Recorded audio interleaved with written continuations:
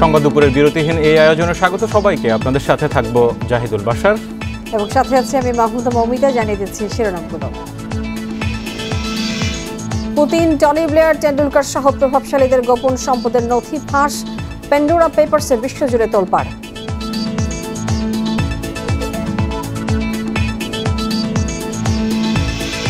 প্রতারণার অভিযোগে e commerce প্রতিষ্ঠান কিউকমের প্রধান নির্বাহী রিপন মিয়া গ্রেপ্তার। গ্রাহকদের বিপুল অর্থ আত্মসাৎ।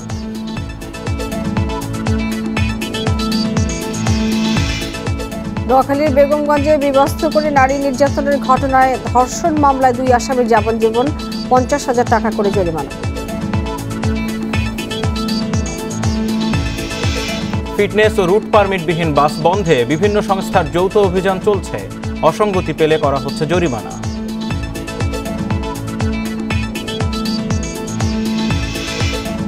ঢাকা বিশ্ববিদ্যালয়ে শুরু হয়েছে করোনা টিকাদান কর্মসূচি। প্রথম ধাপ চলবে সতেরো অক্টোবর পর্যন্ত।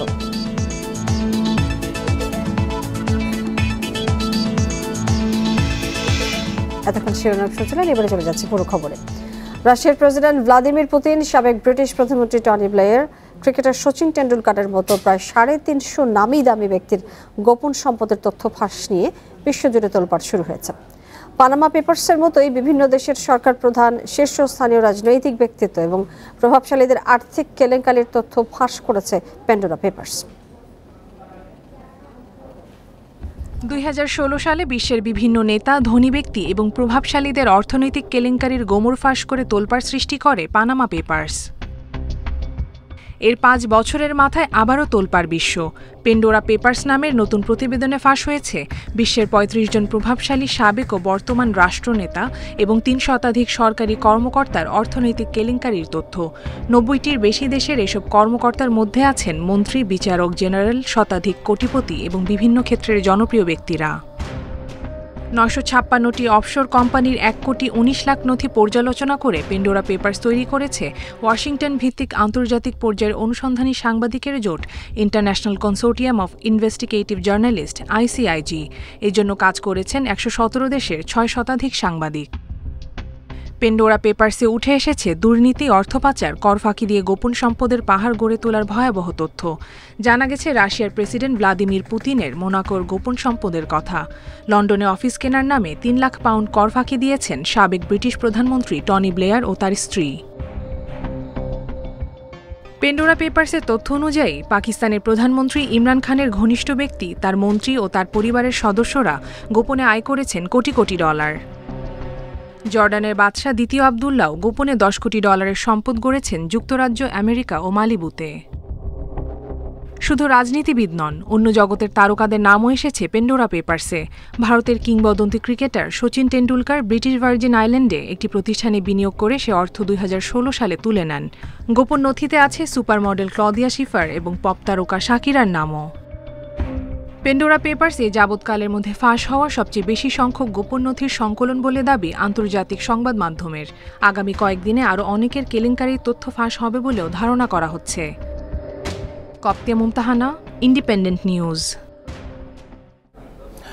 E commerce ব্যবসার নামে প্রতারণা করে আড়াইশো কোটি টাকা আত্মসাতের অভিযোগে। কিউকমের প্রধান নির্বাহী কর্মকর্তা রিপন মিয়াকে গ্রেপ্তার করেছে ডিবি পুলিশ। এছাড়া গ্রাহকদের সঙ্গে প্রতারণার অভিযোগে ই কমার্স প্রতিষ্ঠান এসপিসি ওয়ার্ল্ডের প্রধান নির্বাহী কর্মকর্তা এবং নিরাপদ শপের পরিচালককে গ্রেপ্তার করেছে সিআইডি।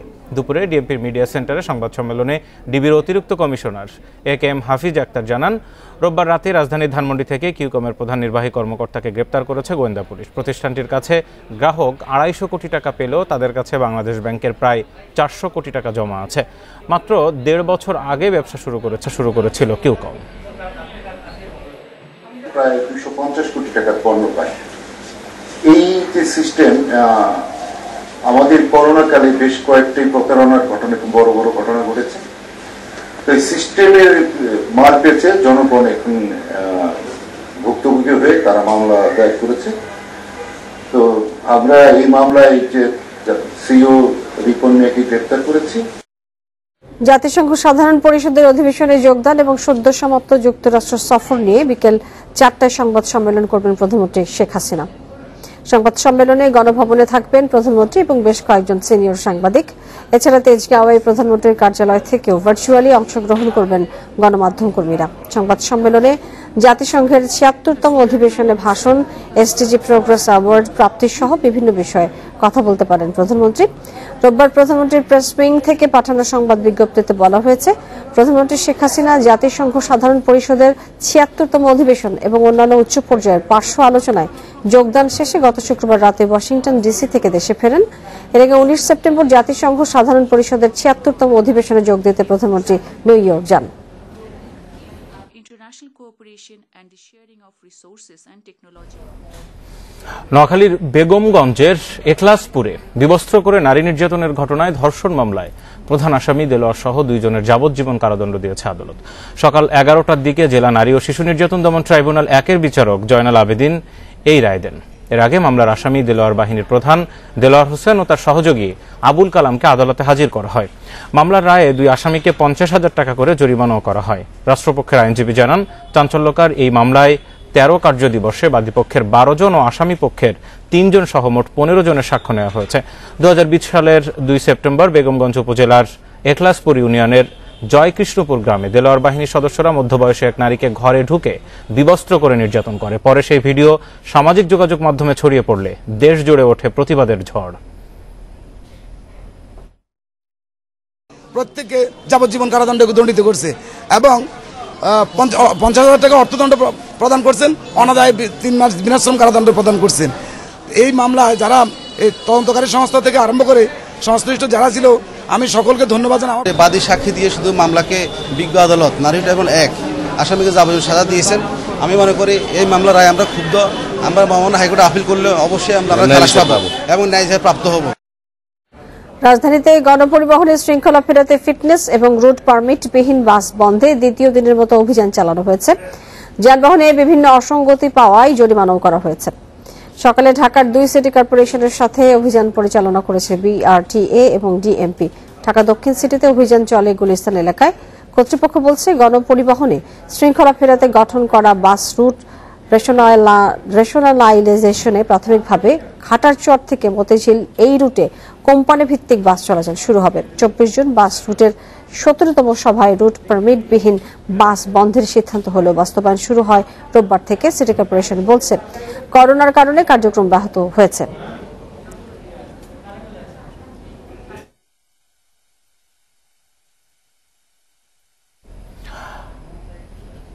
ঢাকা বিশ্ববিদ্যালয়ের মেডিকেল সেন্টারে আজ থেকে শুরু হয়েছে করোনা টিকাদান কর্মসূচি। সকাল সাড়ে নয়টায় এই ক্যাম্পের উদ্বোধন করেন বিশ্ববিদ্যালয়ের উপাচার্য অধ্যাপক ডক্টর মোহাম্মদ আখতারুজ্জামান। এই ক্যাম্পেইনের আওতায় টিকা দেওয়া হচ্ছে বিশ্ববিদ্যালয়ের শিক্ষক, শিক্ষার্থী, কর্মকর্তা কর্মচারীদের। টিকা কার্যক্রম চলবে আগামী সতেরোই অক্টোবর পর্যন্ত, তবে দ্বিতীয় ডোজ টিকা দেওয়া শুরু হবে এক নভেম্বর থেকে। এই ক্যাম্পে শুধু সিনোফার্ম টিকা প্রদান করা হবে। এনআইডি ও বিশ্ববিদ্যালয়ের আইডি কার্ড দেখিয়ে তাৎক্ষণিক নিবন্ধনের মাধ্যমে প্রথম ডোজ টিকা নিতে পারবেন শিক্ষার্থীরা। অন দ্য স্পট তাদের এনআইডি দিয়েই এখানে রেজিস্ট্রেশন করে তারা টিকা দিতে পারবে। আর আমাদের এখানে সিনোপারমের টিকা দেওয়া হচ্ছে। শিক্ষার্থীরা স্বতঃস্ফূর্তভাবে আসছে শিক্ষার্থী এবং আমাদের স্টাফ যারা রয়েছেন। আমরা খুব সুন্দরভাবেই সেটা সম্পূর্ণ হচ্ছে। করোনার কারণে দীর্ঘ সতেরো মাস বন্ধের পর ঢাকা বিশ্ববিদ্যালয়ের আবাসিক হলগুলো খুলছে আগামীকাল। তবে শুধু চতুর্থ বর্ষ এবং মাস্টার্সের শিক্ষার্থীরাই হলে উঠতে পারবেন জানিয়েছে কর্তৃপক্ষ।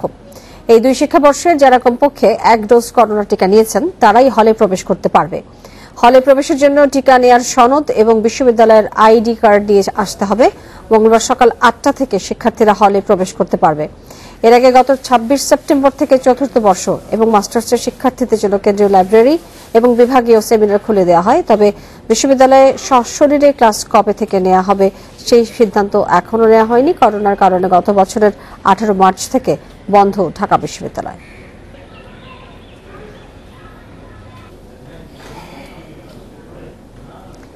এ নিয়ে আরও জানাতে ঢাকা বিশ্ববিদ্যালয়ের জহুরুল হক হল থেকে যোগ দিচ্ছেন সহকর্মী নুরে আলম। নুরে আলম, আগামীকাল চতুর্থ বর্ষ এবং মাস্টার্সের শিক্ষার্থীরা হলে উঠবেন। সেই হিসেবে হলগুলোর প্রস্তুতি কেমন দেখছেন?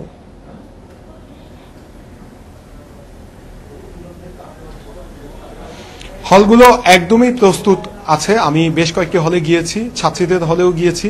তো প্রত্যেকটি হলেই স্বাস্থ্যবিধি মেনে প্রস্তুত করা হয়েছে। প্রত্যেকটা হলেই গেটের পাশে বেসিন দেওয়া হয়েছে। হাত ধোয়ার জন্য হ্যান্ড স্যানিটাইজারের ব্যবস্থা রাখা হয়েছে।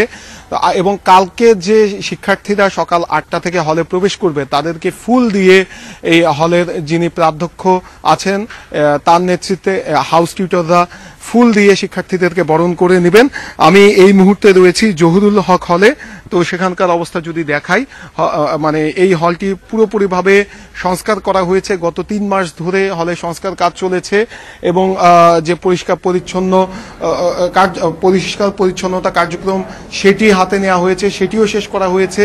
ডেঙ্গু প্রতিরোধে যে হলের যে আশেপাশে যে ঝোপঝাড় ছিল অথবা মানে যে ময়লা আবর্জনা যে স্তূপ ছিল সেগুলো পরিষ্কার করে ফেলা হয়েছে। বলতে গেলে পুরোপুরিভাবে হলকে প্রস্তুত করা হয়েছে। আমি হল কর্তৃপক্ষের সাথে কথা বলেছিলাম।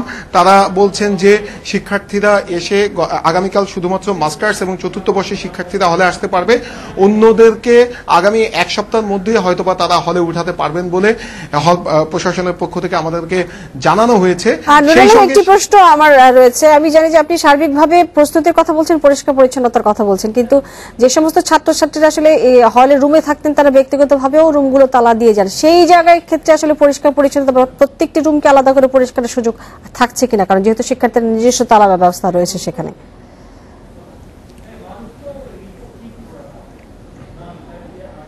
হ্যাঁ প্রত্যেকটি রুমেই পরিষ্কার পরিচ্ছন্নতার জন্য ব্যবস্থা রয়েছে। এই, এর মাঝে যে সকল শিক্ষার্থীরা এসেছিল হলে, তারা যখন রুমে আসে, তখন পরিচ্ছন্নতা কর্মীরা যে পরিষ্কার করে ফেলে। আর কেউ যদি গত সতেরো মাসে একবারও হলে না আসে, অথবা গত এক মাসে একবারও হলে না এসে থাকে, তার রুম কালকে সে যখন আসবে, তখনই তার সাথে একজন পরিচ্ছন্নতা কর্মী যে তার রুম পরিষ্কার করে দিবে। আমি ছাত্রীদের হলে গিয়েছিলাম, সেখানকার প্রাধ্যক্ষরা আমাকে জানিয়েছেন, তারা একটি সময় বেঁধে দিয়েছিলেন, এক তারিখ থেকে পাঁচ তারিখের মধ্যে ছাত্রীরা যে আসতে পারবে সে হলে এসে তার রুমের চাবিটি যদি পরিচ্ছন্নতা কর্মীদের দেন তার উপস্থিতিতে তার রুমটি পরিষ্কার করে দেওয়া হবে। তো অনেক ছাত্রী এসেছেন অনেক ছাত্রী আসতে পারেননি। তারা দূর দূরান্ত থেকে তারা আসতে পারেননি তারা আগামীকাল আসবেন এবং হল প্রশাসনের পক্ষ থেকে অতিরিক্তভাবে এই ব্যবস্থাটি রাখা হয়েছে। যখনই ছাত্ররা আসবে তার সাথে পরিচ্ছন্নতা কর্মীরা আরেকটি প্রশ্ন আপনার কাছে রয়েছে যেটি হচ্ছে যে আমরা দেখেছিলাম যে ঢাকা বিশ্ববিদ্যালয় ভর্তি পরীক্ষার দিন একটি অপ্রীতিকর পরিস্থিতির সৃষ্টি হয়েছিল তালা ভেঙে ছাত্ররা ঢুকেছে হলে এবং এই পরিস্থিতি বিবেচনায় চতুর্থ এবং মাস্টার্সের শিক্ষার্থীরা হলে প্রবেশ করবেন কালকে। অন্যান্য শিক্ষার্থীদের ক্ষেত্রে কোনো ধরনের ঝামেলা তৈরি হতে পারে কিনা বা কোনো ধরনের আশঙ্কা রয়েছে কিনা, কি বলছে বিশ্ববিদ্যালয় কর্তৃপক্ষ, কি ভাবছেন তারা এই বিষয়ে?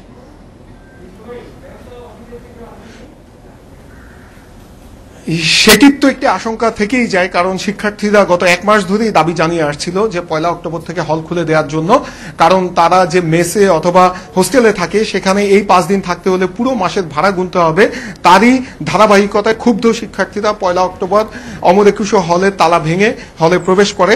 পরবর্তীতে তারা তাদের কেউ কেউ হলে অবস্থান করে আর বাকিরা বের হয়ে যায়। তো শিক্ষার্থীরা বলছেন যে আগামীকাল সব শিক্ষার্থীদের জন্য হল খুলে দিতে হবে, যদিও বিশ্ববিদ্যালয় প্রশাসনের পক্ষ থেকে বলা হচ্ছে যে আগামী এক সপ্তাহের মধ্যেই ধাপে ধাপে সকল শিক্ষার্থীদের জন্য হল খুলে দেওয়া হবে। কারণ এই চতুর্থ বর্ষ এবং মাস্টার্সের শিক্ষার্থীরা হলে ওঠার পরে হল প্রশাসন বুঝতে পারবেন যে তাদের কি ত্রুটি রয়েছে।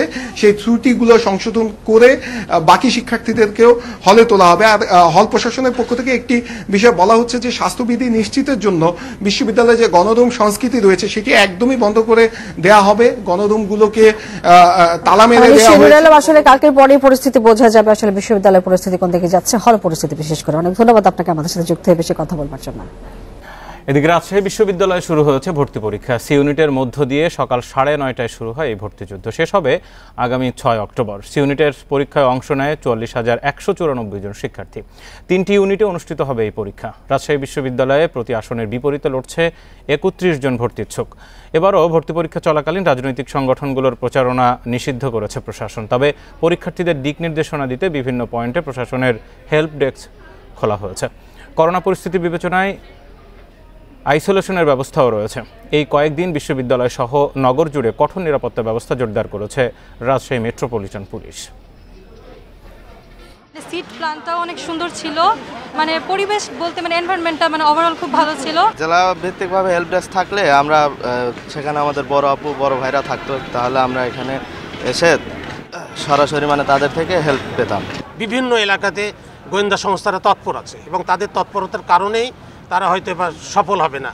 হ্যাঁ এটা আমরা দৃঢ়ভাবে বিশ্বাস করছি, তবে আমরা খুব মানে শক্তভাবে বিষয়গুলো মনিটর করছি, এই জিনিসগুলো আমাদের মাথাতে আছে। রাজশাহী বিশ্ববিদ্যালয়ের পরিস্থিতি নিয়ে এই মুহূর্তে আমার সাথে সেখান থেকে যুক্ত আছেন সহকর্মী মাইনুল হাসান। মাইনুল, রাজশাহী বিশ্ববিদ্যালয়ের পরীক্ষা মানে পুরো রাজশাহী শহর জুড়ে এক ধরনের তোলপাট থাকে, এক ধরনের মানুষের আনাগোনা থাকে, হঠাৎ করে এক দেড় লাখ শিক্ষার্থী সেখানে যান। এত বিশাল সংখ্যক শিক্ষার্থী কীভাবে কি করে সেখানে থাকছেন, এই বিষয়টি একটু জানাবেন। আরেকটি বিষয় হচ্ছে, যেই পরীক্ষাগুলো চলছে সেখানে ক্যাম্পাসের প্রস্তুতি বা সেখানে কোনো ধরনের অসঙ্গতি চোখে পড়েছে কিনা?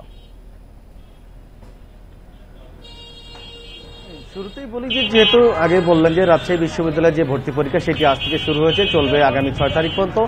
এবং এই ভর্তি পরীক্ষাকে কেন্দ্র করে রাজশাহীতে যে ভর্তি শিক্ষার্থীর সংখ্যা যদি বলি, এক লাখ সাতাশ হাজার ছয়শো সাত- সাতাত্তর জন শিক্ষার্থী আবেদন করছেন এবং তারা পরীক্ষা দিতে আসছেন। তো এই এক লাখ ছাব্বিশ সাতাশ হাজার সাতশো আরও অভিভাবক মিলে প্রায় তিন, সাড়ে তিন লাখ অতিরিক্ত মানুষ কিন্তু রাজশাহীতে অবস্থান করছে। এবং এর ফলে আমি এখন যেখানে দাঁড়িয়ে আছি, তালাইমারি মোড়। এই তালাইমারি মোড় থেকে একেবারে বিনোদপুর গেট পর্যন্ত প্রায় এক কিলোমিটারের বেশি যানজট এখানে দেখা দিয়েছে। কেননা, আমরা জানি যে সকাল থেকে তিনটি দফায় কিন্তু এই বিশ্ববিদ্যালয়ে ভর্তি পরীক্ষা হচ্ছে। সাড়ে নটা থেকে সাড়ে দশটা এক- একটি হয়েছে বারোটা থেকে একটি আরেকটি গ্রুপ হয়েছে এবং তিনটা থেকে চারটা আরেকটা পরীক্ষা কিন্তু আছে। এই পরীক্ষাকে কেন্দ্র করেই মূলত আজকের যে যানজট এইরকম চিত্র কিন্তু রাজশাহীবাসী কখনো দেখেনি। এই যানজটে যখন একটা মানুষের অপেক্ষা, সেটি কিন্তু আধা ঘন্টাও বেশি সময় পার হয়েছে এই ধরনের যানজট কিন্তু রাজশাহীতে কখনো হয় না। আর বিশ্ববিদ্যালয়ের পরীক্ষার কথা যদি বলি, বিশ্ববিদ্যালয়ের পরীক্ষার যে সার্বিক ব্যবস্থাপনা বা যারা আসেন তাদের থাকার বিষয়ে আমরা বরাবরই দেখি যে হোটেল সংকট বা আবাসন সংকট দেখা যায়। কিন্তু এবার ঠিক আগে থেকেই বিশ্ববিদ্যালয় প্রশাসন, স্থানীয় প্রশাসন সকলে সমন্বিত প্রচেষ্টা করে বিশ্ববিদ্যালয়ে যারা পরীক্ষা দিতে আসবে বিশেষ করে মেস মালিকদের সাথে তারা সমন্বিত বৈঠক করে এবং এই বৈঠকের পর গত কয়েকবারের তুলনায় এবার বিষয় একটু জানতে চাইব সেটি হচ্ছে বিশ্ববিদ্যালয়ের শিক্ষার্থীরা যাতে সহজে থাকতে পারেন তাদের সুবিধার জন্য মেস মালিকরা বলেছিলেন একটি অনুষ্ঠানে যে বলেছিলেন তারা সব ধরনের সহযোগিতা করবেন। কিন্তু আমরা সামাজিক মাধ্যমে দেখি যে অনেক শিক্ষার্থীরা নানা ধরনের হয়রানির অভিযোগ করছেন। এই বিষয়টি নিয়ে আমরা আজকে সকালেই রাজশাহী পুলিশ কমিশনারের সাথে কথা বলেছিলাম। তিনি আমাদেরকে জেনেছিলেন, এই ধরনের হয়রানির অভিযোগ যদি সরাসরি আইনশৃঙ্খলা বাহিনীর সদস্যদের কাছে দেওয়া হয়। আমরা দেখেছি যে রাজশাহী বিশ্ববিদ্যালয়ের মধ্যে পুলিশ কন্ট্রোল রুম আছে। এছাড়া বিভিন্ন মোড়ে পুলিশের সংশ্লিষ্ট কর্মকর্তাদের নাম্বারও দেওয়া আছে। এই ধরনের হয়রানিমূলক কোনো আচরণ যদি কোনো মেস মালিক বা যেখানে তারা থাকছেন সেই ধরনের বাড়ি ভাড়ার ঘটনা ঘটে থাকে, সেক্ষেত্রে আইন শৃঙ্খলা বাহিনীকে জানানো মাত্রই কিন্তু তারা এই বিষয়ে তাৎক্ষণিক ব্যবস্থা নেবেন বলে আমাদেরকে জানিয়েছেন। সেই সাথে বিশ্ববিদ্যালয় কর্তৃপক্ষ কিন্তু এর মধ্যে যে- যে কয়েকটি ছাত্রী হল আছে, সেই হলগুলোর যে ডাইনিং রুম সহ আনুষঙ্গিক যে রুমগুলো আছে, সেই রুমগুলো কিন্তু এর মধ্যে তারা খুলে দিয়েছে এবং তারা বলছে যে কিছু মোবাইল নাম্বার দিয়ে যে যারা পরীক্ষা দিতে আসবেন তাদের থাকার জন্য ওই নাম্বারগুলোতে যোগাযোগ করে সিট বুক দেওয়ার কথা বলা হয়েছে এবং বিশ্ববিদ্যালয়ের পরীক্ষা চলাকালীন সেই রুমগুলো কিন্তু খোলা থাকবে এবং যারা বাইরে থেকে আসবেন যদি তাই সেখানে তাদের, তারা ফোন দেয়। যদি প্রয়োজন প্রয়োজনীয় রুম থাকে, সেক্ষেত্রে তাদেরকে কিন্তু সেখানে রুম দেওয়া হবে। এবং জানা রেখেছি আজকের এই পরীক্ষা, আজকে সকাল থেকে দুইটি পরীক্ষা সম্পন্ন হয়েছে এবং তিনটা থেকে চারটা একটি পরীক্ষা আছে। এই এই এতে কিন্তু অংশ সি গ্রুপের এতে অংশ নিচ্ছে হলো চোদ্দ হাজার একশো বিরানব্বই জন শিক্ষার্থী। এবং এই পরীক্ষা সুষ্ঠুভাবে সম্পন্নের জন্য আইন শৃঙ্খলা বাহিনীর পক্ষ থেকে নগর রাজশাহী বিশ্ববিদ্যালয় সহ আশপাশের এলাকায় চার স্তরের নিরাপত্তা ব্যবস্থা নেওয়া হয়েছে এবং বিশ্ববিদ্যালয় জুড়ে চল্লিশটি সিসিটিভি ক্যামেরা বসানো হয়েছে। আইন শৃঙ্খলা বাহিনীর সদস্য বলছে কোনোভাবেই শিক্ষার্থীরা যেন হয়রানি বা ভোগান্তির শিকার বা কোনো ধরনের প্রতারণার শিকার না হয় সেইটি তারা তদারকি করবে। আর বিশ্ববিদ্যালয় বিশ্ববিদ্যালয়ে সি ইউনিটে চুয়াল্লিশ হাজারের বেশি শিক্ষার্থী অংশ নিয়েছে সেই খবরের বিস্তারিত জানাচ্ছিলেন আমাদের সহকর্মী রাজশাহী থেকে। কেক, বিস্কুট রুটি সহ বেকারি পণ্যে ব্যবহৃত হচ্ছে মাত্রাতিরিক্ত ট্রান্সফ্যাট মেশানো হচ্ছে গ্রহণযোগ্য মাত্রার চেয়ে পাঁচ থেকে ছয় গুণ বেশি। বিশেষজ্ঞ চিকিৎসকরা জানিয়েছেন, এই ট্রান্সফ্যাট হৃদরোগ স্ট্রোক সহ নানান জটিল রোগের কারণ। এসব খাবার গ্রহণে সচেতন হওয়ার পরামর্শ দিয়েছেন তারা। সব বয়সী মানুষের কাছেই জনপ্রিয় বেকারি পণ্য। খাবারকে মচমচে ও দীর্ঘক্ষণ সতেজ রাখতে ব্যবহার করা হয় বনস্পতি বা ডালডা। পাম অয়েলকে কারখানায় হাইড্রোজেনেটেড করে তৈরি করা হয় এ বনস্পতি। বিশেষজ্ঞরা বলছেন, ডালডায় যে পরিমাণ ট্রান্সফ্যাটি অ্যাসিড পাওয়া গেছে তা মানবদেহের জন্য ক্ষতিকর। ন্যাশনাল হার্ট ফাউন্ডেশন ও ঢাকা বিশ্ববিদ্যালয়ের খাদ্য ও পুষ্টিবিজ্ঞান ইনস্টিটিউটের গবেষণায় এ তথ্য পাওয়া গেছে। বিভিন্ন জায়গা থেকে স্যাম্পল সংগ্রহ করে ওখানে ট্রান্সফারের উপস্থিতি যথেষ্ট আছে। কম থাকুক, বেশি থাকুক ট্রান্সফেট যেখানে থাকবে, সেটা যদি আপনি খান, সেটা আপনার রক্তে কোলেস্ট্রল বাড়াবে। আপনি যদি এক বিস্কুটটা আপনি একটা খান না আপনি ডেইলি একটা করে দুটো তিনটা করে খাচ্ছেন।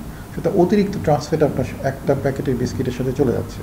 এবং সেটাই আপনার হৃদরোগ বা স্ট্রোকের কারণ হয়ে দাঁড়াবে। কারখানায় তৈরি কেকের উপরের অংশের লেয়ার তৈরিতে মেশানো হয় ডালডা। এসব খাবার শিশুরা দীর্ঘদিন খেলে নানা রোগে আক্রান্ত হওয়ার ঝুঁকি দেখছেন বিশেষজ্ঞরা। একটা কেক যখন ক্রেতা কিনতে আসে সে ওটার টেক্সচার টেস্ট স্বাদ, গন্ধ, দেখতে কেমন অ্যাট্রাকটিভ কিনা, সেগুলির উপরই তো কেনে। তারা তো ওইখানে তখন কি ক্ষতিকর জিনিস আছে, সেটাকে কখনো মাথায় রাখে না কিংবা জানেও না। উপকারী ফ্যাট সেটাকে কমিয়ে দেয়। যার ফলে আমাদের অ্যাথেরোস্ক্লেরোসিস ঝুঁকি বাড়ার ফলে আমাদের হার্টের অসুখ বাড়ে, আমাদের স্ট্রোকের রিস্ক বাড়ে এবং সবচেয়ে বড় কথা আমাদের ডায়াবেটিসের রিস্ক বেড়ে যায় এবং ওভার ইটিংয়ের কারণে আপনার আমরা মোটা হয়ে যাই। আমাদের অবশ্যই এই ট্রান্সফ্যাটকে কম খেতে হবে এটার ব্যবসায়িকভাবে ব্যবহার করা উচিত নয়। এ ধরনের খাবার পরিহারের পরামর্শ বিশেষজ্ঞ চিকিৎসকদের। Buddhadeb Kundu independent news Dhaka. আপনারা দেখছেন বিরতিহীন সংবাদ দুপুর। সংবাদে আরও যে থাকছে। প্রজনন মৌসুমে ইলিশ ধরা বিক্রিতে বাইশ দিনের নিষেধাজ্ঞা শুরু, কার্যকরে চলছে প্রশাসনের অভিযান।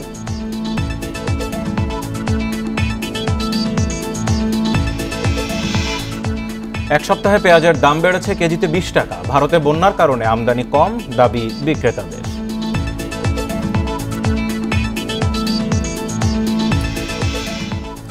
ক্লিন ফিট ছাড়া বিদেশি চ্যানেল সম্প্রচার করলে ব্যবস্থা নেওয়া হবে বলে জানিয়ে তথ্য সম্প্রচার মন্ত্রী ডক্টর হাসান মাহমুদ বলেছেন। বিশ্বের সব দেশের মতো বাংলাদেশও আইন মেনে বিজ্ঞাপনবিহীন ক্লিন ফিট চালাতে হবে। চব্বিশটির বেশি চ্যানেল বাংলাদেশে ক্লিন ফিট দেয়। এগুলো চালাতে কোনো বাধা নেই বলে উল্লেখ করেন তিনি। দুপুরে সচিবালয়ে একটি সংবাদ সম্মেলনে কথা বলেন ডক্টর হাসান মাহমুদ। বাংলাদেশে দেয় এমন আমি গতকাল সতেরোটির কথা বলেছিলাম। আসলে সতেরোটি নয়, চব্বিশটির বেশি চ্যানেল। চব্বিশটির বেশি চ্যানেল বাংলাদেশে ক্লিন ফিট দেয়। সুতরাং এগুলো চালানোর ক্ষেত্রে কোনো বাধা নেই। আকাশ ডিটিএস এগুলো চালাচ্ছে। সুতরাং অন্যদেরও এগুলো চালানোর ক্ষেত্রে কোনো বাধা নেই। টানা আটচল্লিশ দিন বন্ধ থাকার পর আজ থেকে শুরু হয়েছে শিমুলিয়া বাংলা বাজার নৌ রুটের ফেরি চলাচল। সকালে যাত্রী এবং যানবাহন নিয়ে ফেরি কুঞ্জলতার যাত্রার মাধ্যমে এই নৌ রুটে ফেরি চলাচল আবার শুরু হয়েছে।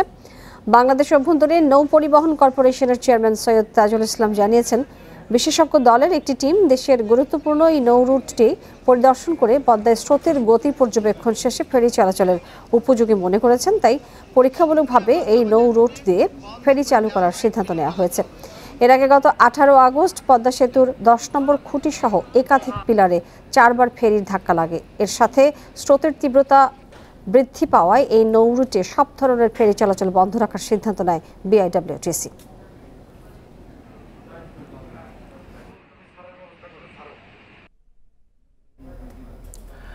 মা ইলিশ রক্ষায় শুরু হয়েছে মাছ ধরায় বাইশ দিনের নিষেধাজ্ঞা। আগামী পঁচিশ অক্টোবর পর্যন্ত ইলিশ শিকার, ক্রয় বিক্রয়, পরিবহন ও মজুত পুরোপুরি নিষিদ্ধ থাকছে। নিষেধাজ্ঞা কার্যকরে চালানো হচ্ছে ভ্রাম্যমাণ আদালত। নিষেধাজ্ঞা না মানায় এরই মধ্যে বরিশালে নয় জেলেকে এক বছর করে কারাদণ্ড দেওয়া হয়েছে। বরগুনাতেও চোদ্দ জেলে পেয়েছেন বিশ দিনের কারাদণ্ড। আশ্বিনের ভরা পূর্ণিমা আর আমাবস্যা ইলিশের সর্বোচ্চ প্রজনন মৌসুম। বছর ঘুরে ফিরে এসেছে সেই সময়। তাই রোববার মধ্যরাত থেকে টানা বাইশ দিন বন্ধ থাকবে ইলিশ শিকার। নিষেধাজ্ঞার শুরুতে চট্টগ্রামের বিভিন্ন ঘাট থেকে জাল গুটিয়ে বাড়ি ফিরছে জেলেরা। তবে মাছ না ধরলে কীভাবে সংসার চলবে তা নিয়ে দুশ্চিন্তায় তারা। নিবন্ধিত জেলেদের বাহিরে কেউ সাহায্য না পাওয়ায় নতুন তালিকা তৈরির দাবি তাদের। দশ বারো বছরের জন্য মাছ মারি, আমাকেও ধরুন কোনো কিছু দেয় না পাইও না। ভোটের মালিক সবাই করতে আছে মনে করেন এমন কিছু সাহায্য পাইলে আমরা কিছু চলতে পারতাম। শরীয়তপুরের জাজিরায় নাওডোবা থেকে একাত্তর কিলোমিটার দীর্ঘ পদ্মা মেঘনার জলরাশি এখন জেলে শূন্য। জেলায় বত্রিশ হাজার জেলের মধ্যে পঁচিশ হাজার জেলে নিবন্ধিত হলেও সহায়তা পাবেন মাত্র উনিশ হাজার জেলে। একই পরিস্থিতি বরিশালেও। এ অবস্থায় ব্যবসায়ীদের দাবি নিষেধাজ্ঞা কয়েকদিন পিছিয়ে দিলে মাইলিশ রক্ষা কার্যক্রম আরও সফল হতো। এবার কামাই বাণিজ্য তো এমন বেশি ভালো হয় নাই। তারপর আমাকে তো কিস্তি টিস্তি লয়ে খুব সমস্যা হয়ে যেতেছে। কীভাবে খামো কীভাবে চলমু এখানে যে অভিযান দিয়েছে আমরা সরকারের অনুদান আমরা মানি। আমরা ইতিমধ্যে বিশ কেজি চাল করে আমরা চুয়ান্ন হাজার সাতশো পরিবারকে আমরা চাল দিয়েছি আমরা ইতিমধ্যে। আমরা ভিজিএফ এর আওতায় তাদেরকে এনেছি।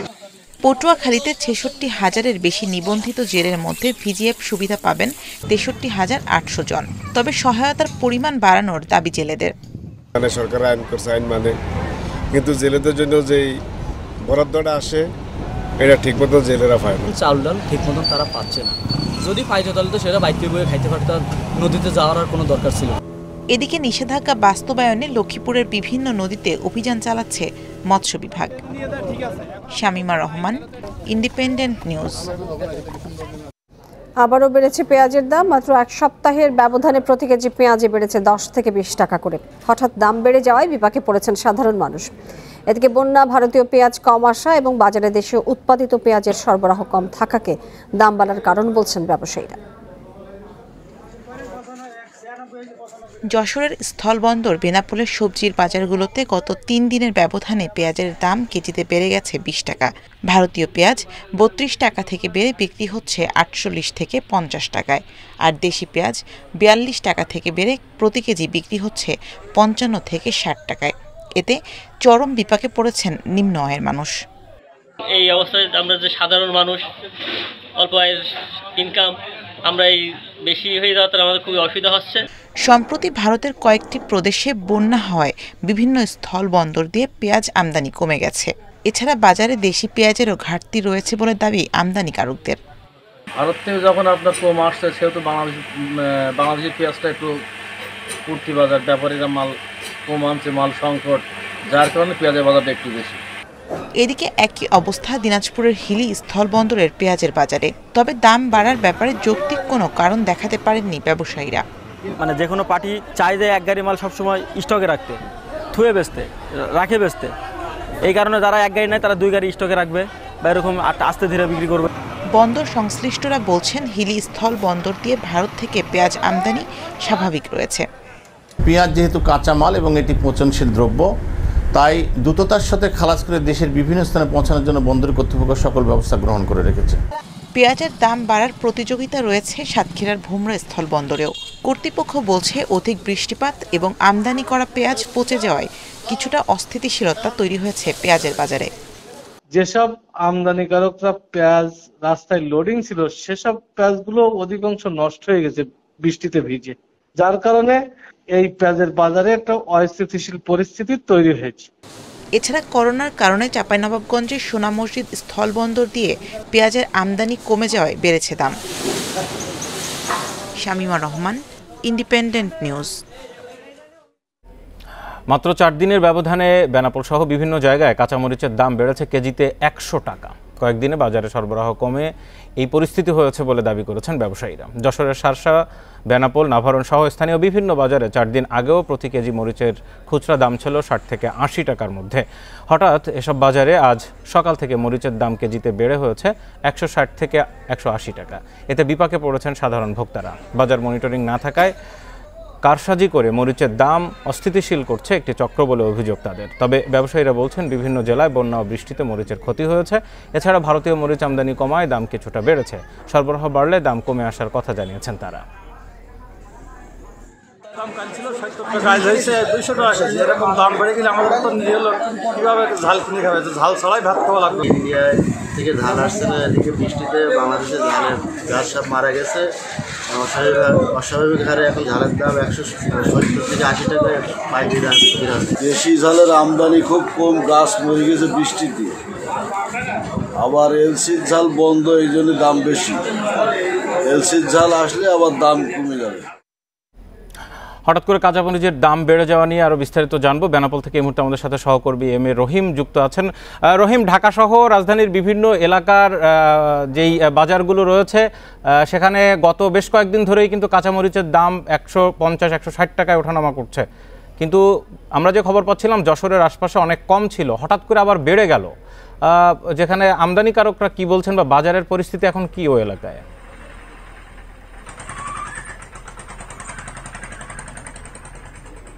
জানেন দেশে বৃহৎ স্থলবন্দর বেনাপোল বিশেষ করে বেনাপোলের সীমান্তবর্তী বাজারগুলো তো সম্পূর্ণ নিয়ন্ত্রণ হয় ভারত থেকে পণ্য আমদানির উপরে। যখন ভারত থেকে পেঁয়াজ আহ, আহ, কাঁচা মরিচ সহ বিভিন্ন পণ্য যখন আমদানি স্বাভাবিক থাকে তখন স্থানীয় বাজারগুলো অনেকটা পণ্য দাম কম থাকে। কারণ আপনি জানেন যখন বেনাপোলে পেঁয়াজের কেজি বাইশ থেকে ছাব্বিশ টাকা তখন খুলনা ঢাকা সহ অন্যান্য জায়গায় প্রায় বিশ থেকে তিরিশ টাকা বেশি দরে পেঁয়াজ বিক্রি হয়। অর্থাৎ ভারত থেকে যখন যে পণ্যগুলো যত বেশি বেনাপোল দিয়ে বাংলাদেশের অভ্যন্তরে প্রবেশ করে, তখন বিশেষ করে বেনাপোল বাগাছড়া, নাবার ও সাতশা সহ স্থানীয় বাজারগুলোতে ঝালের বা পেঁয়াজের দাম অনেকটা কম থাকে। আমরা গত এক সপ্তাহের ব্যবধানে আমি কথা বলেছি, বিভিন্ন কৃষকের সাথে তারা আমাকে যেটা জানিয়েছেন যে এক সপ্তাহ আগে যারা কৃষকরা এখানে কাঁচামরিচ বিক্রি করেছে বাইশশো থেকে ছাব্বিশশো টাকা কেজি। সেক্ষেত্রে প্রতি কেজি পড়ে পঞ্চাশ থেকে সত্তর টাকা। আর গত পরশু থেকে তারা সেই কাঁচামরিচ বিক্রি করছে বিয়াল্লিশ থেকে ছেচল্লিশশো টাকা মন দরে। সেক্ষেত্রে একশো দশ থেকে একশো বিশ টাকা কেজি ধরে এখানে বাজারের যে একটি সিন্ডিকেট রয়েছে, বিশেষ করে আড়ট দ্বারা তারা তারা আমি তাদের সাথে কথা বলেছি, তারা যেটা বলেছে যে আসলে দেশের উৎপাদন এখন কমে গেছে বা দেশের বিভিন্ন জায়গায় বন্যা দেখা দিয়েছে ভারী বর্ষাতে অনেকটা ঝাল ক্ষেত নষ্ট হয়েছে। এই কারণে ঝালের আমদানি কম সেই ক্ষেত্রে দামটা বেড়ে গেছে। আর যেহেতু তারা এখানে ফড়িয়া বা ব্যবসায়ীরা তারা যারা দাবি করেছেন যে মাত্র দুই থেকে তিন টাকা কেজি বেশিতেই তারা বিক্রি করেন, প্রকৃতপক্ষে অন্য অন্য মোকাম থেকে তারা বেশি দরে কিনছে বলেই এই দামটা বেড়ে গেছে। আমি কথা বলেছি, আমদানি রপ্তানির সাথে সংশ্লিষ্ট বা বন্দর কর্তৃপক্ষের সাথে তারা যেটা জানিয়েছেন, বিশেষ করে ভারতের উড়িষ্যার বিহার সহ বিভিন্ন জায়গায় বন্যা দেখা দেয়। ভারত থেকে পেঁয়াজ বা মরিচ এখন কম আসছে। অর্থাৎ ভুমরা বা দর্শনা দিয়ে এই কাঁচা মরিচ আমদানি বেশি হয়ে থাকে। বন্দর দিয়েও প্রতিদিন পাঁচ থেকে সাত ট্রাক পণ্য আমদানি হয়ে থাকে। সেক্ষেত্রে অনেকটা আমদানি কমে যাওয়ায় এই ঝালের দাম বৃদ্ধি পেয়েছে। অর্থাৎ ভারত থেকে ঝাল আমদানি বৃদ্ধি পেলে এই দামটা কমে আসবে বলে জানান ব্যবসায়ী ও বন্দরের সাথে সংশ্লিষ্টরা। বেনাপোল থেকে জানাচ্ছিলেন আমাদের সহকর্মী। অর্থবছর আইনের আওতায় যুক্ত হতে যাচ্ছে সাইবার অপরাধ, পর্নোগ্রাফি, জুয়া এবং অনলাইন জুয়া। ইন্ডিপেন্ডেন্ট টেলিভিশনকে একান্ত সাক্ষাৎকারে একথা জানিয়েছে বাংলাদেশ টেলিযোগাযোগ নিয়ন্ত্রণ কমিশন, বিটিআরসি। তবে অপরাধের শাস্তির বিষয়ে উদ্যোগী না হয়ে অর্থ পাচার আইনে নতুন অপরাধ যুক্ত করাকে সমর্থন করছেন না আইনজীবীরা। ইন্টারনেট দুনিয়ায় ক্রমেই বাড়ছে সাইবার অপরাধ। আপত্তিকর ভিডিও ছড়িয়ে দেওয়া ও অনলাইন জুয়াসহ তালিকায় প্রতিদিনই যুক্ত হচ্ছে প্রতারণার অভিনব কৌশল। বিটিআরসির তথ্য মতে, গত এক বছরে বন্ধ হয়েছে বাইশ হাজার পর্নোগ্রাফি ও জুয়ার সাইট। চার হাজার আটশো আটাশিটি ফেসবুক লিঙ্ক বাষট্টিটি ইউটিউব লিঙ্ক ও ষাটটি ওয়েবসাইট। বিটিআরসি জানায়, ইন্টারনেট বা তরঙ্গ ব্যবহারের মাধ্যমে অপরাধমূলক লেনদেন, পর্নোগ্রাফি, জুয়া ও অনলাইন জুয়াকে অর্থ পাচারের আওতায় যুক্ত করার পরিকল্পনা রয়েছে। এ বিষয়ে বাংলাদেশ ফিনান্সিয়াল ইন্টেলিজেন্স ইউনিট একটি প্রস্তাব দিয়েছে। এর পেছনে যারা বিনিয়োগ করে, এর পেছনে যারা ছোটে, মূল কারণ হচ্ছে অর্থ। সেটা দেশেই হোক, বিদেশেই হোক। এই জন্য মানি লন্ডারিং একটা গুরুত্বপূর্ণ বিষয় এই সমস্ত কাজে। এই জন্য প্রস্তাবটা করা হয়েছে। এর সাথে সরকারের বিভিন্ন সংস্থা মন্ত্রণালয় বিভাগের সাথে যুক্ত আছে। এটা সম্মিলিতভাবে একটা সিদ্ধান্ত এটা আসতে হবে। অর্থ পাচার আইনে এসব অপরাধকে যুক্ত করার যুক্তি দেখছেন না আইনজীবীরা। তাদের মতে প্রচলিত আইনে এই ধরনের অপরাধের বিচার সম্ভব। নতুন নতুন অপরাধ যুক্ত করতেছেন নতুন নতুন মানি লন্ডারিং এর ডেফিনেশন এক্সটেন্ড করতেছেন। কিন্তু অপরাধীদের কিন্তু ধরার বিষয়ে কোনো পদক্ষেপ নেওয়া হয়েছে বলে আমি লক্ষ্য করিনি যে কর্মকাণ্ডগুলোকে মানি লন্ডারিং অফেন্সের অন্তর্ভুক্ত করতে চান ওইগুলাকে আগে অপরাধ হিসেবে ঘোষণা করে তারপরে এখানে অন্তর্ভুক্ত করা যাবে। অপরাধীকে শাস্তির আওতায় আনলেই অর্থ পাচার সহ সব ধরনের সাইবার অপরাধ বন্ধ করা সম্ভব বলে মনে করেন আইনজীবীরা। Irin Khatun independent news Dhaka. আপনারা আছেন বিরতিহীন সংবাদ দুপুরে। সংবাদ আলোচনা থাকছে ভারতে বিক্ষোভ সহিংসতায় চার কৃষক সহ আটজন নিহতের ঘটনায় কেন্দ্রীয় স্বরাষ্ট্র প্রতিমন্ত্রীর ছেলের বিরুদ্ধে মামলা।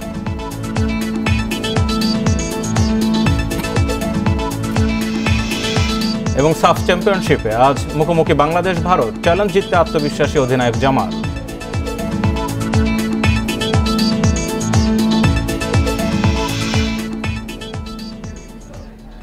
টাঙ্গাইলে যমুনা নদীর পানি কমার সাথে সাথে বাড়তে শুরু করেছে ভাঙন। কয়েকদিনের ভাঙনে বিলীন ঘর ও ফসলের জমি। হুমকিতে শিক্ষা প্রতিষ্ঠান সহ বেশ কিছু স্থাপনা। এ নিয়ে আরও বিস্তারিত জানব। সহকর্মী মামুনুর রহমান এই মুহূর্তে সরাসরি ভাঙনস্থল থেকে আমাদের সাথে যুক্ত আছেন। মামুন, এখন পর্যন্ত ভাঙনে কোন কোন এলাকা সবচেয়ে বেশি ক্ষতিগ্রস্ত হয়েছে? আর হুমকির মুখে কোন কোন প্রতিষ্ঠান বা স্থাপনা রয়েছে? জানাবেন আরেকটি বিষয়, সেটা হচ্ছে পানি উন্নয়ন বোর্ডের কাছ থেকে আলাদা কোনো আশ্বাস পাওয়া গেল? নাকি গতানুগতিক যা বলে থাকেন তাই? আপনি জানেন যে, এই বন্যার প্রথম অর্থাৎ যখন বর্ষার পানি বেশি আসে যমুনায়, তখন যেরকম ভাঙছিল, এখন পানি নেমে গিয়েছে, অর্থাৎ যমুনার পানি কমছে, এখন কিন্তু আবার ভাঙছে। আমি এখন দাঁড়িয়ে আছি টাঙ্গাইল সদর উপজেলার কাকা ইউনিয়নের চরপলি নামক গ্রামে। আমি যদি দর্শকদেরকে দেখাই, আমার এই পিছনে যে ভাঙা বাড়িগুলি দেখা যাচ্ছে এই বাড়িগুলি কিন্তু গত দুদিন আগেও ভালো ছিল এবং পিছনে যে এখন যে জায়গাটায় পানি দেখা যাচ্ছে, এই জায়গাটাতে কিন্তু গতকালকেও বাড়ি ছিল, তিনটি বাড়ি ছিল, যেটা গতকালকে ভাঙনের কারণে কিন্তু তারা চলে গেছে, নদী গর্ভে চলে গেছে ঘর বাড়ি নিয়ে মানুষ ঠিক পাশেই আছে। এর পাশে যে নদীর তীরে যে জায়গাগুলি আছে, সেখানকার মানুষও কিন্তু হুমকির মুখে রয়েছে, যে কারণে তাদের বাড়িঘর যে যেভাবে পারছে, সেভাবে সরানোর চেষ্টা করছে। তো আপনি জানেন যে টাঙ্গাইলের যমুনা নদীর পাশে হচ্ছে পাঁচটি উপজেলা। তার ভিতরে টাঙ্গাইলের কালীহাতি, ভুয়াপুর, টাঙ্গাইল সদর এবং নাগরপুর। এই চারটি উপজেলা কিন্তু প্রতি বছরই ভাঙে, এবারও ভাঙছে এবং আমরা এই বর্ষার প্রথম থেকে এখন পর্যন্ত প্রায় দুই শতাধিকের উপরে অর্থাৎ তিনশোর কাছাকাছি বাড়িঘর কিন্তু নদী গর্ভে চলে গেছে এবং বিপুল সংখ্যক ফসলের জমি কিন্তু নদী গর্ভে চলে গেছে। এমনটি কিন্তু আমরা পানি উন্নয়ন বোর্ড এবং জেলা প্রশাসনের কাছ থেকে জানতে পেরেছি এবং স্থানীয় জনগণও তারা যেটা বলছে যে তাদের সর্বশেষ যে সম্পদ ছিল সেটাও কিন্তু নদী গর্ভে চলে গেছে। আর পানি উন্নয়ন বোর্ড কিন্তু আমাদেরকে যেটা মানে জানিয়েছে যে গতানুগতিক যেসব কথা বলে বিষয়টি সেরকম না। তারা কিন্তু যেটা বলছে যে একটা স্থায়ী বাঁধ নির্মাণের প্রক্রিয়া চলছে এবং এই এটা প্রকল্পর জন্য পাঠানো হয়েছে এবং কাজ কিন্তু শুরু হয়েছে। কালীহাতি অংশে কিন্তু একটা অংশে আমরা স্থায়ী বাঁধ হতে দেখেছি এবং সেই অঞ্চলে কিন্তু এবছর আর নদী ভাঙেনি। তো আমি যে অঞ্চলে আছি, টাঙ্গাইল সদর উপজেলা, কাকোয়া ইউনিয়নের চরপলি নামক গ্রামে, এখানকার মানুষেরও দাবি স্থায়ী বাঁধ এবং পানি উন্নয়ন বোর্ড যেটা বলছে তারা স্থায়ী বাঁধ নির্মাণ করে দেবে খুব দ্রুতই এবং সেটা আগামী বছরই কাজ শুরু হওয়ার কথা রয়েছে। তো সেটা হলে এই অংশটা কিন্তু আর ভাঙবে না। এমন তথ্য কিন্তু পানি যমুনা বোর্ড পাড়ের যে তীব্র ভাঙন সেখান থেকে বিস্তারিত জানাচ্ছিলেন আমাদের সহকর্মী। দুর্গাপূজাকে ঘিরে ব্যস্ত সময় পার করছেন প্রতিভা শিল্পীরা তবে যাদের ঘিরে উৎসব ভালো নেই সেই শিল্পীরাই। করোনার কারণে প্রতিটি মণ্ডপে ব্যয় কমানো হয়েছে বেড়েছে রং সহ নানান উপকরণের দামও আর্থিক ক্ষতির শঙ্কা করছেন কারিগররা। পূজার বাকি আর মাত্র কয়েকদিন। শেষ সময়ে প্রতিমা তৈরিতে ব্যস্ত শিল্পীরা। কিন্তু করোনা পরিস্থিতিতে প্রতিমার কাঙ্ক্ষিত দাম পাচ্ছেন না কারিগররা। কুড়িগ্রামে বন্যা আর উপকরণের দাম বাড়ায় প্রতিমা তৈরিতে খরচ বেশি হলেও ক্রেতারা দাম হাঁকছে কম। এতে লোকসানের শঙ্কায় প্রতিমা শিল্পীরা। পরিশ্রম করি সেই হিসাবে আমাদের লাভ হয় না। বাজারে মনে হয় যেটা আমাদের চাহিদা দরকার টাকা সেই তুলনায় অনেক কম। জেলায় পাঁচশো বত্রিশটি মণ্ডপে চলছে পূজার আয়োজন। দাবি উঠেছে এই শিল্পে নিয়োজিতদের সহযোগিতা ও ব্যাংক ঋণের সংকট নিরসনে প্রণোদনার চেষ্টা করছে জেলা প্রশাসন।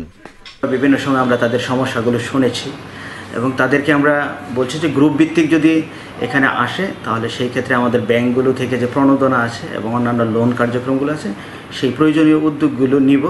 প্রতিমা তৈরির উপকরণের দাম বাড়ায় তেমন লাভ পাচ্ছেন না নেত্রকোনার শিল্পীরাও। করোনা পরিস্থিতিতে মণ্ডপগুলোতে বাজেট কমায় প্রতিমার কাঙ্ক্ষিত দাম মিলছে না। এই যে করোনার লাগিন সবাই খালি টাকা কম দিত চায় আর বাড়ায় না তো আমরা খরচা তো বাড়তি। আর্থিক সংকটের কারণে কমানো হয়েছে মণ্ডপগুলোর খরচও। ধন্যবাদ জানাব সরকারকে যদি আমাদেরকে আর্থিক একটু অনুদান দেন। পাশাপাশি আমাদের প্রত্যেকটি পূজার মন্দিরে যে এই আলোকসজ্জা এবং ডেকোরেশন অন্যান্য বছর নেয় এই বছরও কম হবে। রাজবাড়িতে এবার চারশো একচল্লিশটি মণ্ডপে দুর্গাপূজা হচ্ছে। তবে করোনার প্রভাবে প্রতিটি মন্দিরে আলোকসজ্জা ও প্রতিমা নির্মাণের ব্যয় কমানো হয়েছে প্রায় অর্ধেক। দুই লাখ টাকা ছিল সেখানে পঞ্চাশ হাজার ষাট হাজার টাকা এরকম দিচ্ছে। আবার এক লাখ টাকার কাজে বিশ হাজার টাকা। আয়োজকরা বলছেন স্বাস্থ্যবিধি নিশ্চিতে প্রতিটি মণ্ডপে থাকবে কঠোর নজরদারি। মণ্ডপে ঢোকার মুখে রাখা হবে hand sanitiser. Mamunur Rashid independent news desk বিশ্বে করোনা একদিনে মারা গেছে চার হাজার ছয়শো তেষট্টি জন। নতুন শনাক্ত তিন লাখ চার হাজারেরও বেশি। এ নিয়ে বিশ্বে এখন করোনায় মোট প্রাণহানি ছাড়িয়েছে আটচল্লিশ লাখ ষোলো হাজার। আর এ পর্যন্ত আক্রান্ত তেইশ কোটি সাতান্ন লাখেরও বেশি। বিশ্বে কিছুটা কমে এসেছে করোনায় প্রাণহানি। চব্বিশ ঘন্টায় মারা গেছে চার হাজার ছয়শো জন। এর মধ্যে সর্বোচ্চ আটশো নব্বই জনের মৃত্যু হয়েছে রাশিয়ায়। দেশটিতে নতুন শনাক্ত পঁচিশ হাজার ছয়শো উনসত্তর জন। সংক্রমণ শুরুর পর রাশিয়ায় এটি দ্বিতীয় সর্বোচ্চ শনাক্তের সংখ্যা। দেশটির তরুণদের মধ্যে করোনার সংক্রমণ বেশি। তরুণরা টিকা না পাওয়া এর একটি কারণ হিসেবে বলছেন বিশেষজ্ঞরা। ভারতে চব্বিশ ঘন্টায় সংক্রমণ কমেছে নয় শতাংশ। সেখানে একদিনে মারা গেছে একশো আশি জন আর নতুন শনাক্ত একুশ হাজার। দেশটিতে করোনা থেকে সেরে ওঠার হার বেড়েছে সাতানব্বই দশমিক আট নয় শতাংশ, যা দুই হাজার বিশের মার্চের পর সর্বোচ্চ।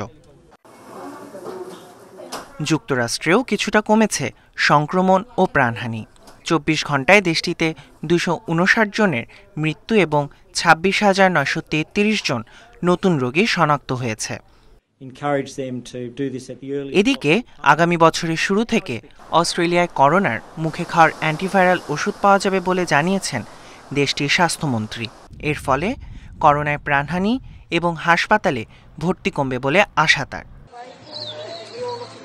নিউজিল্যান্ডের বেশ কিছু জায়গায় কঠোর করা হয়েছে বিধিনিষেধ। তবে অকল্যান্ডে শিথিল হয়েছে কড়াকড়ি। ফেব্রুয়ারি থেকে দেশটিতে ভ্রমণকারীদের টিকার দুই ডোজ নেয়া বাধ্যতামূলক করেছে সরকার। Require vaccines for non-citizens entering into ইসরায়েলে শুধুমাত্র টিকার বুস্টার ডোজ নেয়া নাগরিকদের রেস্তোরাঁ জিম সহ উন্মুক্ত স্থানে যাওয়ার অনুমতি দেয়া হয়েছে।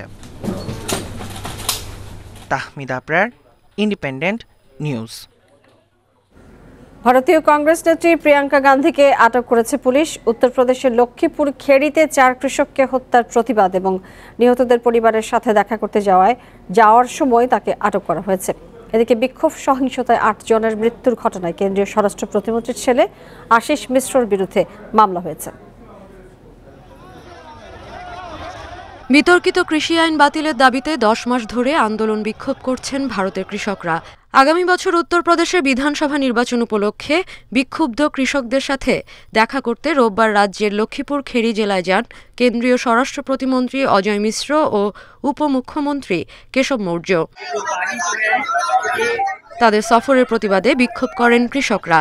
এ সময় কেন্দ্রীয় মন্ত্রীর কনভয়ের একটি গাড়ি দুই কৃষকের ওপর তুলে দেয়া হয়। সংযুক্ত কিষাণ মোর্চার দাবি, গাড়ি উঠিয়ে দেয়ায় মৃত্যু হয় ওই দুজনের। গাড়িটিতে কেন্দ্রীয় মন্ত্রী অজয় মিশ্রর ছেলে ছিলেন বলে অভিযোগ উঠে পরে গাড়িটি আটক করে তাতে আগুন ধরিয়ে দেয়া হয় অভিযোগ অস্বীকার করে অজয় মিশ্র বলেন, গাড়িতে তার ছেলে ছিলেন না। তার দাবি, তাদের গাড়ি লক্ষ্য করে পাথর ছোড়ে দুর্বৃত্তরা। এরপর লাঠি ও তলোয়ার নিয়ে হামলা চালালে গাড়ির চালক নিয়ন্ত্রণ হারান। এ কারণেই কৃষকদের হতাহতের ঘটনা ঘটে বলেও দাবি অজয় মিশ্রের। এ ঘটনায় অজয় মিশ্রর ছেলে আশিস মিশ্রর বিরুদ্ধে মামলা হয়েছে। রাজ্যের মুখ্যমন্ত্রী যোগী আদিত্যনাথ জানান, জড়িতদের অবশ্যই আইনের আওতায় আনা হবে। বিরোধীরা এ ঘটনাকে রাজনৈতিকভাবে ব্যবহারের চেষ্টা করছে বলেও অভিযোগ তার। আন্দোলনরত কৃষকদের ওপর মন্ত্রীর গাড়ি তুলে দেওয়ার পর থেকেই উত্তপ্ত হয়ে উঠেছে উত্তরপ্রদেশ। নিউজ। সাফ চ্যাম্পিয়নশিপে আজ ভারত বাংলাদেশের লড়াই, শ্রীলঙ্কাকে হারিয়ে আত্মবিশ্বাসী লাল সবুজ। ভারতের চ্যালেঞ্জেও সাহসী অধিনায়ক জামাল ভুইয়া আর সুনীল ছেত্রীকে আটকাতে বিশেষ পরিকল্পনা কোচ অস্কার ব্রুজনের। অন্যদিকে জয় দিয়ে আসর শুরুর প্রত্যয় ভারতের। মালদ্বীপে ম্যাচ শুরু বাংলাদেশ সময় বিকেল পাঁচটায়। জয় দিয়ে আসর শুরু হয়েছে। সেই স্বস্তি নিয়েই সুনীল ছেত্রীদের বিপক্ষে রণকৌশল সাজাতে ব্যস্ত Bangladesh coach Oscar Bruzon. Jamal তপুদুর নিয়ে শেষ মুহূর্তে ছক কষছেন এই স্প্যানিয়ার্ড। কন্ডিশন সম্পর্কে অভিজ্ঞতা থাকায় কাজটা সহজ ব্রুজনের জন্য। ভারতের এটাই প্রথম ম্যাচ, বাংলাদেশের দ্বিতীয়। এটা একটু হলেও বাড়তি সুবিধা দিচ্ছে বেঙ্গল টাইগারদের। শক্তিমত্তা কিংবা রেকর্ড সেসব পুরোপুরি ভারতের পক্ষে, কিন্তু অতীত নিয়ে ভাবতে নারাজ Bangladesh coach India is the favorite team according to the FIFA rankings. ভারতের থেকে আমরা কিছুটা মানসিকভাবে এগিয়ে আছি। প্রথম ম্যাচে জয় পাওয়ায় নির্ভর হয়ে খেলতে পারব আমরা। প্রথম থেকেই ওদের বিপক্ষে আমাদের সতর্ক থাকতে হবে। ছেত্রীকে আমি ভালোভাবে চিনি, ওর কোচ ছিলাম। ও বক্সে ভয়ঙ্কর এক খেলোয়াড়। তবে ওকে কীভাবে থামাতে হয় সেটা আমি জানি। সেভাবেই পরিকল্পনা করছি। প্রথম ম্যাচের নায়ক তপু বর্মনের ফেরায় ফিরেছে স্বস্তি। সোহেলকেও একাদশে রাখার আভাস কোচের। এছাড়া আরও দু একটি পরিবর্তন দেখা যেতে পারে। অধিনায়কের কণ্ঠেও আশাবাদ। আমাদের দলে ভালো খেলোয়াড় আছে এবং আমরা জানি কোচ আমাদের কাছে কি চান। কোচ যেটা বলেছেন সেটা যদি নিখুঁতভাবে করতে পারি আমার বিশ্বাস দারুণ একটা লড়াই হবে এবং আমরা দারুণ কিছু একটা করব। ম্যাচের আগের দিন অনুশীলন সেরেছে ভারতও। জয় দিয়ে আসর শুরুর লক্ষ্য তাদের। তবে মূল একাদশে তিনজন খেলোয়াড় ছাড়াই মিশনে এসেছে ভারত। ফলে কিছুটা সতর্ক coach Igor Stimac. First game is really important to Bangladesh দল ভালো। প্রতিপক্ষ হিসেবে সমীহ পাওয়ার মতো। দলের বেশিরভাগ ফুটবলার একই ক্লাবের হওয়ায় বোঝাপড়াটাও দারুণ। তবে আমরা জিততেই এসেছি। similar job which we did Bangladesh Bharat দৈরত মানে বাড়তি উত্তেজনা উন্মাদনা।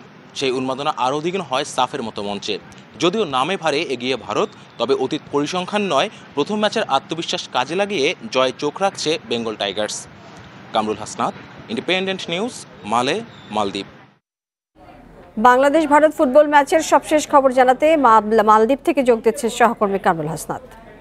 এখানকার যে প্রবাসী বাঙালিরা, তারা কিন্তু আমাদের ইতিমধ্যে বলেছেন যে ইন্ডিয়া বাংলাদেশের ম্যাচ নিয়ে তারা আসলে অনেক বেশি অপেক্ষা করছেন এবং বাংলাদেশ একটি ভালো সাফল্য বয়ে আনবে এমনটাই তারা আশা করছেন। এবং আমরা যদি কোচ অস্কার ব্রুজনের কথা বলি তিনি কিন্তু গতকাল প্রেস কনফারেন্স প্লাস বাংলাদেশ দলের অনুশীলনে কিন্তু তাকে অনেকটা বেশি আত্মবিশ্বাসী বলে মনে হয়েছে। সে কিন্তু বলেছিল যে ইন্ডিয়ার বিপক্ষে বাংলাদেশ দল একটি ভালো ফলাফল অর্জন করবে এবং তারা কিন্তু পূর্ণ তিন পয়েন্টের জন্য এবং জয়ের জন্যই মাঠে নামবে, সেটাই কিন্তু আমরা অস্কার ব্রোজনের কাছ থেকে শুনেছি। এবং আমরা যদি ইন্ডিয়া কোচের কথা বলি, তারা কিন্তু তাদের এটা প্রথম ম্যাচ, তারা কিন্তু এই ম্যাচটাকে বাংলাদেশের বিপক্ষে খুব সতর্কভাবে নিচ্ছেন। যদিও বাংলাদেশের তুলনায় তারা র্যাঙ্কিংয়ে অনেক বেশি এগিয়ে, তারপরেও কিন্তু তারা বাংলাদেশ দলকে কোনোভাবেই সমূহ করতে রাজি নয়, কারণ টুর্নামেন্টের প্রথম ম্যাচ সবসময় ভালো শুরু করতে চায় ইন্ডিয়া দল এবং যে কোনো দলই টুর্নামেন্টের প্রথম ম্যাচটিকেই গুরুত্ব দিয়ে থাকে। সেই হিসাবে ইন্ডিয়া কিন্তু কিছুটা প্রেশার নিয়ে আজকে মাঠে নামবে, কিন্তু বাংলাদেশ দল সেদিক দিয়ে অনেকটা চাঙ্গা রয়েছে। তার কারণ হলো বাংলাদেশ কিন্তু শ্রীলঙ্কার বিপক্ষে ইতিমধ্যেই এক শূন্য গোলে জয় দিয়ে সাফ চ্যাম্পিয়নশিপ শুরু করেছে। সেদিক থেকে বাংলাদেশ অনেকটা অ্যাডভান্টেজ নিয়েই মাঠে নামবে এবং দলের যে আত্মবিশ্বাস, সেই আত্মবিশ্বাস কাজে লাগে তারা কিন্তু চাইবে ইন্ডিয়ার বিপক্ষে ভালো একটি ফলাফল অর্জন করার। টি টোয়েন্টি বিশ্বকাপ খেলতে ওমানে পৌঁছেছে বাংলাদেশ দল। বাংলাদেশ সময় সকাল সাড়ে ছয়টায় মাস্কট বিমানবন্দরে পৌঁছান মুশফিক মাহমুদুল্লাহরা। ঘূর্ণিঝড় শাহিনের কারণে ওমানের মাস্কট আন্তর্জাতিক বিমানবন্দরের সব ফ্লাইটের সূচি পরিবর্তন করা হয়। তখন থেকেই টাইগারদের যাত্রা নিয়ে দেখা দেয় শঙ্কা। তবে সব ক্রিকেটারই সময় মতো পৌঁছে যান হজরত শাহজালাল আন্তর্জাতিক বিমানবন্দরে। এরপর রাতেই ঢাকা ছাড়ে মাহমুদুল্লাহর দল। ওমানে পৌঁছার পর একদিনের কোয়ারেন্টিন শেষে মিলবে অনুশীলনের সুযোগ। সেখানে চার দিন প্রস্তুতির পর নয় অক্টোবর যাবে আরব আমিরাতে। দুটি প্রস্তুতি ম্যাচ খেলে আবারও ওমানে ফিরবে টাইগাররা। এরপর সতেরো তারিখ স্কটল্যান্ড ম্যাচ দিয়ে শুরু হবে বিশ্বকাপের মূল লড়াই।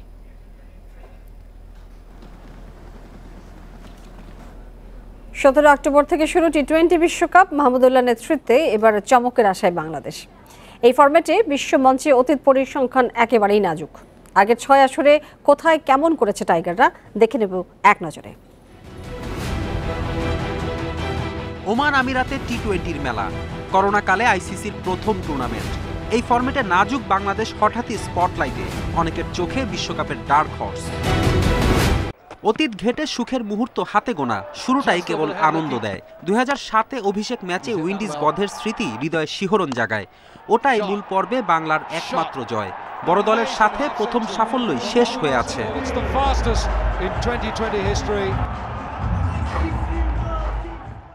টি টোয়েন্টির বিশ্বমঞ্চে পাঁচ জয়ের বিপরীতে উনিশ হারে শুধু ব্যর্থতার পাল্লাই ভারী হয়েছে। আর আফগানিস্তান নেপাল নেদারল্যান্ডস কিংবা ওমানের সাথে সাফল্য কিছু ব্যক্তিগত রেকর্ডই সমৃদ্ধ করেছে। পঁচিশ ম্যাচে মাত্র আটবার দেড়শো পেরিয়েছে স্কোর সর্বোচ্চ একশো আশি ওমানের বিপক্ষে। বিপরীতে একশোর নিচে অল আউট হয়েছে তিনবার। এর মধ্যে নিউজিল্যান্ডের সাথে সত্তর রানে গুটিয়ে পড়তে হয় বড় লজ্জায় কারণ ওটাই বিশ্বকাপের সর্বনিম্ন সংগ্রহের লিস্টে দখল করেছে পাঁচ নম্বর স্পট। অথচ ওই ম্যাচে পাঁচ উইকেট নেওয়া মুস্তাফিজ হতে পারতেন আলোকিত। তারপরও বিশ্বকাপের সেরা বোলিংয়ে ওপরেই আছেন দ্য ফিজ। বিশ্বকাপে ব্যাটে বলে টাইগারদের সেরা সাকিব। সর্বোচ্চ তিন ফিফটিতে পাঁচশো সাতষট্টি রানের পাশে তিরিশ উইকেট। এবার গাদা খানেক রেকর্ড করার মিশন বিশ্বসেরার। দুই হাজার ষোলোতে সেঞ্চুরি খরা ঘুচিয়ে এখনও একা হয়ে আছেন তামিম। একুশে এসে কেউ কি দেখা পাবে ম্যাজিক ফিগার নতুনের ডাকে এবার অতীত ভোলার পালা। মাহমুদুল্লাহর দল বিশেষ কিছুতে ইতিহাস গড়তে চায়। ফেরদৌস ইসলাম ইন্ডিপেন্ডেন্ট নিউজ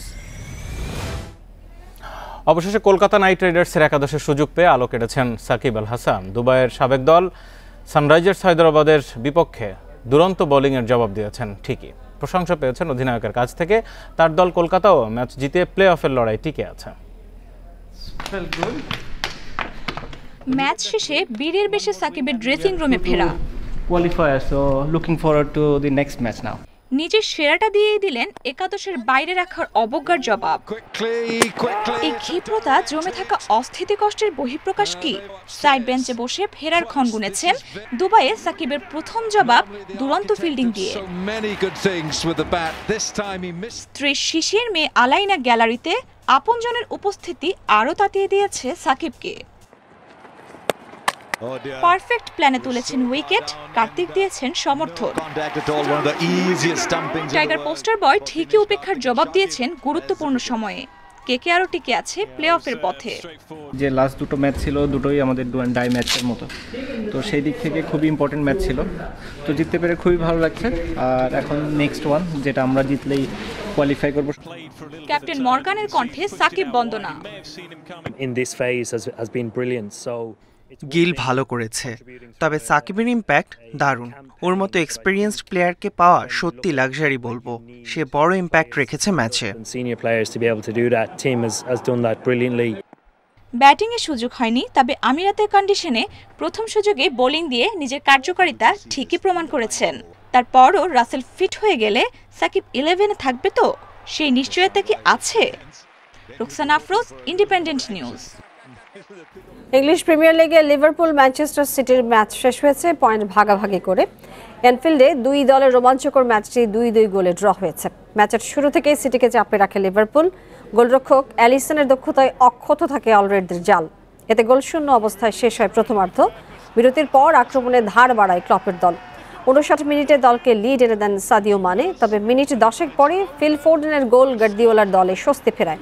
ছিয়াত্তর মিনিটে সালাহ দুর্দান্ত শটে স্বাগতিকরা আবারও এগিয়ে যায়। তবে এর পাঁচ মিনিটের মাথায় সিটিজেনদের আবারও সমতায় ফেরান ডিব্রুইনা এই ড্রয়ের পর সাত ম্যাচে পনেরো পয়েন্ট নিয়ে দ্বিতীয় স্থানে লিভারপুল, চোদ্দ পয়েন্ট নিয়ে তিনি আর এই ছিল বিরোধীহীন সংবাদ দুপুরে। ধন্যবাদ এতক্ষণ সাথে থাকার জন্য। ফেসবুক ইউটিউব আর টুইটারে চোখ রাখুন। আরও বিস্তারিত সংবাদ দেখতে ও জানতে।